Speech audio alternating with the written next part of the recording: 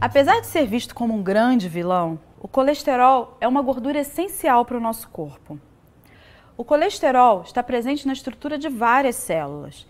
Ele está presente nos músculos, nos rins, nos nervos, nos intestinos, no coração, ou seja, ele faz parte de todas as estruturas celulares. E além disso, ele também